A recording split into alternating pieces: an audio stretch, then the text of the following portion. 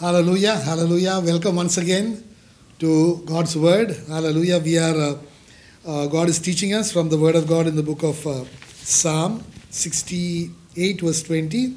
It says, God is to us a God of acts of salvation, and to God the Lord belongs escapes from death. That is a key word. And he is talking about the last word that we read in uh, was from the book of Isaiah, the last episode, chapter 45, verse 19. I have not spoken in secret in a dark place of the earth. I did not say to the seed of Jacob, Seek me in vain. I, the Lord, speak righteousness. I declare things that are right. We also read from the book of Matthew, chapter 7, verse 7. It says, Seek and you shall find, ask and it will be opened, knock and sh- ask and you shall receive, knock and it shall be opened to you. Again, we read from the book of Jeremiah, chapter 13, so 29, verses 11 to 14.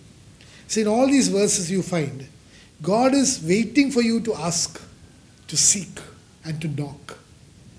And the minute you take the initiative, you take the first step, He's there. Like the prodigal son, when you read the word in the book of Luke, chapter 15, the father was waiting for the son, but father never went looking for him. The son had to take a conscious decision that, understanding his situation, he had to repent of his sins, confess his sins, get the forgiveness of God, and only then he could come back.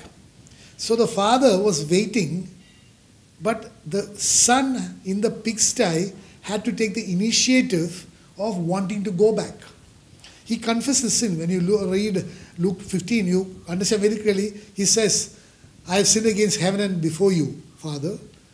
I am not worthy to be called your son, but make me at least one of your hired servants. So there was a confession, there was a repentance, a confession, and there was a coming back. So God is very clearly saying that you have to come back. Come back to the Lord. Hallelujah. Today we continue with the same chapter of Isaiah 45. Verse 20 says, Assemble yourselves and come. Draw near together. You who have escaped from the nations, they have no knowledge, who carry the wood of their carved image and pray to a God that cannot save. Amen. Today, my dear brother, my sister, it is so sad to see that Jesus has redeemed you. Hallelujah. Has given you an escape from death of eternal damnation. If Jesus had not died at the cross at Calvary, I want to tell you one or two things. See, the Word of God says in the book of Leviticus, chapter 17, verse 11, that life is in the blood, and the blood has been given to be poured out on the altar for the atonement of sins. We know when blood ebbs out from a body, the spirit leaves the body and life ceases.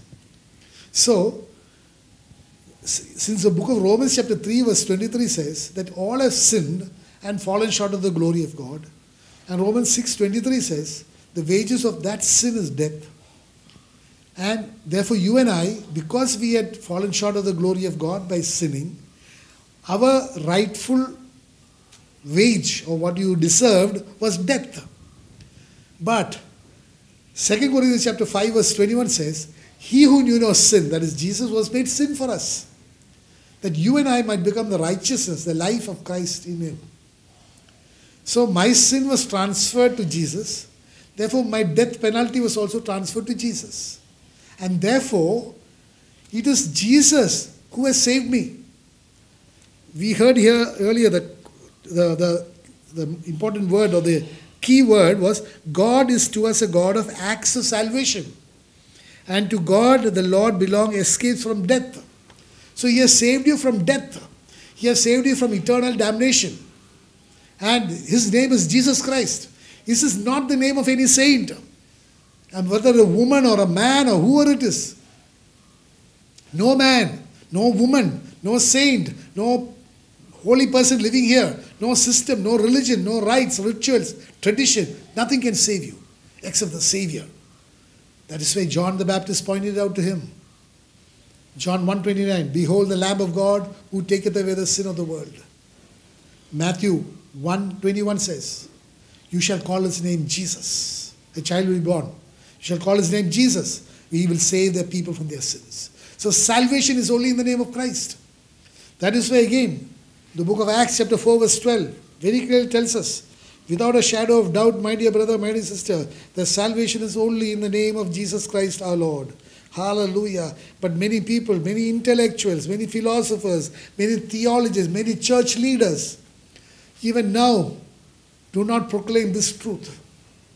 They believe there is salvation for all. You lead a good life. But the book of Ephesians, chapter 2, verse 8 says, You have been saved by grace through faith, and it's not of your works. Uh, Acts 4.12 says, Nor is there salvation in any other, for there is no other name other than the name of Jesus under heaven given among men by which we must be saved. Salvation is only in the name of Jesus Christ our Lord. Hallelujah. Hallelujah. So, it is so clear that you, Jesus died for us and he has saved us. So there is an escape from the nations and they have no, no, the nations, they are all, you know, it's a big group who's going to eternal damnation. And today many people say that the majority believe this, so that they must be right. Hallelujah. Hallelujah. My dear brother, God is saying, assemble yourselves and come. Gather together and come. Come to me, he says. Hallelujah. Because I am your Savior. No man, no one, nobody can save you other than me. He says, draw near together, draw near to me. God says very clearly, draw near to me and the devil will flee. Flee from you. Hallelujah. Then he says, You who have escaped from the nations, they have no knowledge. See, the nations are still treading a path of destruction. You have escaped from them. You have come out from them. Yet, many people still have little remnants of their old beliefs, doctrines. Like the people, God's people who came out from Egypt while they were in the wilderness, they were looking back to Egypt, like Lot's wife looked back to Sodom and Gomorrah. They were saying, Why did you bring us here? Uh, I mean, there were good graves in Egypt where we could be buried. The leeks and the onions and the meat and the fish of Egypt, they were so much better. We don't have anything to eat here except this manna. And so they are so hard hearted that is why when you read the word in the book of Hebrews, chapter 7, sorry, chapter 3, it very clearly says, Do not be hard hearted like the people in the rebellion. And what happened when you read the word in the book of Numbers? God was so angry with them. He said, No one above the age of 20 when they left Egypt, other than Caleb and Joshua, will ever enter the promised land. Because they were all hard hearted, murmuring, rebelling against Moses. Hallelujah. So he says, Draw near together, you who have escaped from the nations. They were under captivity, Babylon in captivity. Today you are under captivity of the world, of sin, of flesh, of Satan. And God has redeemed you by His grace. You have been saved by grace through faith. And He's saying, assemble together. And He says, they have no knowledge. Their minds are darkened. They are blind. Who carry the wood of their carved image and pray to a God that cannot save. Carry. Because when you read in many places in the scripture, they talk of a woodcutter going and cutting a tree. Then he cuts the tree into pieces. The tree is the original one. Then some of it he uses to cook food. Some of it he shapes into a god an idol and he worships. So it's the same wood. It is used, one is he has transformed that into a god and worships it. And the other he has used to cook his food and eat. This is the ignorance of the people. He says very clearly, who carry the wood of their carved image and pray to a God that cannot save. My dear brother, my dear, I want to ask you, have you ever bowed down? I mean, I mean that might be a wrong question after having known Jesus, have you ever bowed down before an idol? That idol is not God. There are so many people today who transgress God's law blatantly And there are so many priests and men in authority who are promoting this because of some economic gain. Hallelujah. Today, my dear brother, my dear, sister, we need to understand it is the greatest, it is, a, it is adultery, spiritual adultery, to say that on the one hand, that you are the bride of Christ, you are the betrothed of Christ, and on the other hand, go and worship an idol, worship a saint, whether it's a man or a woman, worship an animal, or worship anything else. It is the greatest dishonor that you can give God. It is the greatest robbing of God. Because the book of Malachi, chapter 3 says, Us, will man rob God? He's not talking, I mean, the word of God is not talking only of tithe. Tithe is the least in the mind of God. Are you robbing God of his glory that rightly belongs to God? Because God says, I will not share my glory with anyone because I am a jealous God. Are you with me? He is jealous for your affection, He is jealous for your love. Are you with me? Not anything else. He's not jealous of the person you are bowing down to. No, he is jealous for you because he wants you. He is possessive about you. Because his blood was shed for you, my dear brother. And you go and bow down before an idol. You burn candles before an idol. You pray to an idol or a woman or a man. You signifying that. A saint or a saintess or whatever you call it. Hallelujah. I think there is only one gender for the saint. Saint's own, yeah, saint is unisex. Hallelujah. You are bowing down before an idol, and people might teach you that is okay. It is not okay. It is the greatest of sins idolatry. Hallelujah. God hates idolatry. Hallelujah. Let's read one or two verses. There is a separation that takes place. Who separates you? It's a word of God that separates you, my dear brother, my sister. You and I can be separated for Christ only by the word of God. Because the book of Romans, chapter 8 says, I mean, sorry, the book of, uh, you know, because the word of God in the book of John, chapter 8 says, If you abide in my word, you are indeed my disciples. Then you will know the truth, and the truth will set you free. Truth is the word of God. So the separation, the sanctification is only from the word of God. The book of John, chapter 17, verse 17 says, Sanctify them by your truth, separate them by your truth. My word is truth. The word of God is truth. Jesus is truth.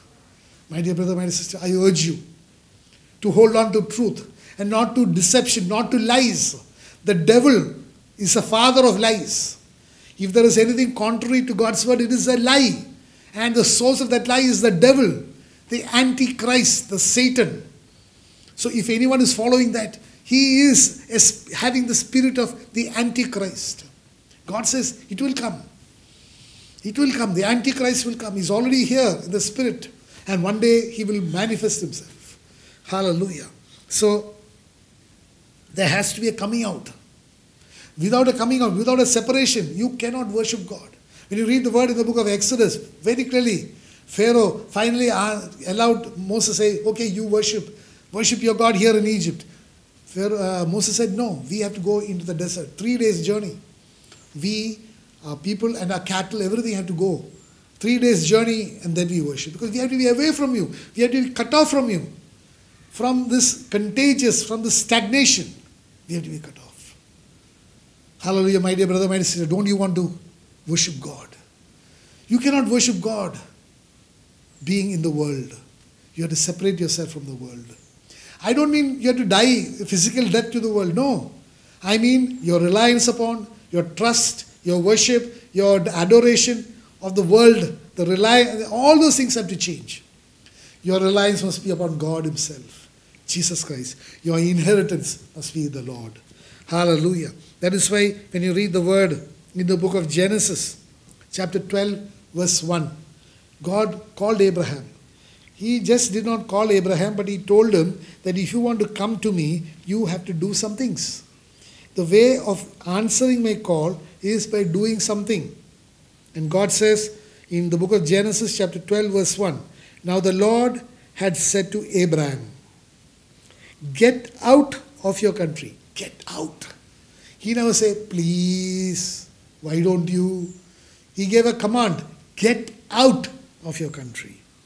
Then again, I will repeat it, I paraphrase it if it should be repeated like that. Get out from your family. Then it says, and get out from your father's house. So the country, the family, and the father's house. Today, these are the things which are greatest bondage. Country, you can relate it to the world. Are you with me? The family can relate to relationships. And your father's house is sometimes the people who are dear to you. Some people don't accept Jesus because the husband or the wife is not accepting Jesus. My dear brother, at least in your heart, accept him.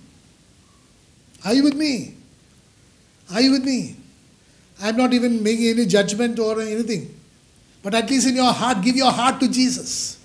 There might be some limitations. I'm not even going to suggest anything. You pray to God, He will show you the way. But you have to get out of your country, that is the physical world. Reliance upon that. Get out of the family, relationships. Today, people reject Jesus because they are afraid of the family, their friends, their relatives, the system. He says, Get out of that. Only then you will be able to follow Jesus into the desert. Are you with me? Away from Egypt, away from the world. Hallelujah. Then again, God says very clearly, you have to get out. Unless you get out, you cannot get in. Are you with me? Unless you, I mean, God's people had to get out of Egypt to get into the promised land. Can they say, okay, we want the promised land, but we are going to stay in Egypt? No. So if you want to enter the rest that the Lord has promised you, you have to get out of the world. I'm again saying, I'm not talking about a physical death, but a mental death. Because there should be a renewing of your mind. The book of Romans very clearly says, chapter 12, do not be conformed to the world, but by a renewal of your mind, be transformed. Your benchmarks must change. Everything, your reliance, everything must change. Only then you will be able to follow God, the Lord as Abraham did. Then what did he say? He says, I never asked you to get out, to be stranded somewhere. I called you out to bring you in somewhere. Then God says in Genesis chapter 12, verse 2, I will make you a great nation. I want to bless you. I will bless you and make your name great, and you shall be a blessing. Hallelujah. I will bless those who bless you. I will curse him who curses you. And in you, all the families of the earth shall be blessed. So he is bringing you out to take you in to a land of blessings. He will bless you and you will be a blessing for the people. My dear brother, my dear sister, don't you want the blessing of God? Or you want the blessing of, any, of a man or a system or a saint at the most? My dear brother, my dear sister, I'm telling you, you do not know the relationship that person had with God. You do not know his destiny. Are you comparing him to God? Because we heard earlier in another episode, the book of uh, Hebrews, chapter 7, verse 25. He says, He is able to save to the uttermost those who come to God through Him, for He always lives to make intercession for them. He's able to save you to the uttermost. Do you need a Savior beyond Jesus? Do you want a man or a woman or an animal as a Savior to you beyond the ability that Jesus has? Do you want someone to be your mediator between God and man? The book of Timothy says there is no other mediator between God and man except the man Jesus Christ. Why do you disobey God's word? Blatant, blatantly, you know, with the, with a vengeance you are disobeying God's word. See, unless you get out, you will not be able to get in. That is why the book of Hosea. This is spiritual adultery. If you are worshipping a saint or a woman or a man or a woman or any carved image of anything, of a woman or anybody, you are committing adultery. That is why book of Hosea 5 4, 4, 4 sorry, 5 4 says, let's read that. Yeah, that's why the book of Hosea chapter 5 verse 4 says, They do not direct their deeds toward turning to their God, for the spirit of harlotry is in their midst, and they do not know the Lord. Harlotry. That is why in the book of James, chapter 4, verse 4. God says, Adulterers and adulteresses, do you not know that friendship with the world is enmity with God? If you have friendship with the world, God calls you an adulterer and adulteresses because you are giving the glory which belongs to God to the world, worldly system. Again, what happens because of that adultery? Hosea 4 6 says, Hallelujah, my people are destroyed for lack of knowledge because you have rejected knowledge. I also will reject you from being a priest for me. Because you have forgotten the law of your God, I also will forget your children. God is cutting you off because of your idol worship, because you're bowing down to a saint, you're praying to a saint, you're burning candles to a saint, you're putting garlands to a saint, you're observing a novena for, to a saint, you're putting alms for a saint. My dear brother, alms, that is the economy of that. All the saints are promoted for money by the church. Are you with me? Hallelujah. I heard about one priest who came out by the grace of God. You know, the bishop makes a routine visit of the parishes. And his first question to the priest there, they have these small shrines all over within his jurisdiction. So when he comes, he asks, What is the collection? What is the collection? Are you with me? Money, mammon. So who is that priest and who is that bishop serving? God says you cannot serve God and mammon. Mammon is the world, mammon is Satan. Hallelujah. Hallelujah. You need to understand today what the church needs is a spirit of wisdom and of revelation of the knowledge of Jesus. Ephesians 1:17 says very clearly. You need a spirit of wisdom and understanding, a spirit of revelation of Jesus. And when Jesus comes into your life, hallelujah, the darkness will dispel. The light of the glory of the gospel of Christ, who's the image of God Himself, will dispel the darkness that Satan has put in your mind. Hallelujah. Again, I just want to read one more word to you. 2 Corinthians chapter 6, verse 16 to 18. Idolatry, which belongs to Satan. Listen to this, my dear brother. It says, And what agreement has the temple of God with idols? For you are the temple of the living God. As God has said, I will dwell in them and walk among them. I will be their God, and they shall be my people. Come out from among them and be separate, says the Lord. Do not touch what is unclean, and I will receive you. I will be a father to you, and you shall be my sons and daughters, says the Lord Almighty. My dear brother, my dear sister, this does not require any explanation. Come out from the religious system, the worldly system. Come out from the saint system. Come out from the novena system. Come out from the alms system. Come out from everything that is of religion. And then only you will be able to see God. That is why he says, Come out from them, among them, and separate, says the Lord. Do not touch what is unclean. And then I will receive you. And when I receive you, I will be a father to you. And when I receive you, I will see you as my sons and daughters. Amen. What a great privilege. You want to cling on to the world or you want to cling on to Jesus? Take your decision. Make a choice, my dear brother, my dear sister. Hallelujah. I just want to conclude with one more word of God, which God prohibits idolatry. God prohibits the making of any image of a saint or anything. My dear brother, my dear sister, this is to be obeyed. God's word is to be obeyed. God says very clearly in the book of Ezekiel, I will take out the heart of stone and I will give you a heart of flesh and I will deposit my spirit in you so that you will walk in my statutes and you will obey my judgments. So if any person is not obeying these words of God, then you have a heart of stone. You do not have the Holy Spirit. You have the evil spirit. You are a son and a daughter of the devil. Hallelujah. I'm telling you this truth. Let's read the word in the book of Deuteronomy, chapter 4, verse 15 onwards. I'm just going to read it out to you. and then end this episode. I am not going to give any explanation because I believe that you are a person of sound mind. You are a person who understands. You are a person who can reason. Do not be a pawn in the hand of the religious people. Do not be a pawn in the hand of people who twist God's word. Hallelujah. Who will take you to eternal damnation because of disobedience. Because God's word says, if you love me, you will keep my commandments. If you do not keep God's commandments, then you are actually hating God. You are a wicked person. Are you with me? Listen to this. Take careful heed. This is Deuteronomy 4:15. Please note it down.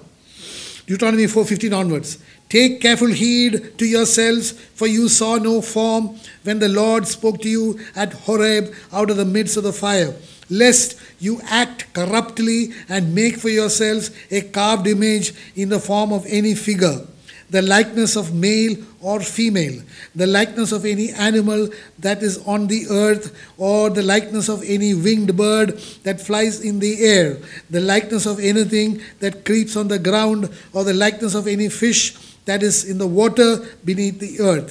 And take heed lest you lift your eyes to heaven, and when you see the sun, the moon, and the stars, all the host of heaven, you feel driven to worship them and serve them, which the Lord your God has given to all the peoples under the whole heaven as a heritage. Are you with me?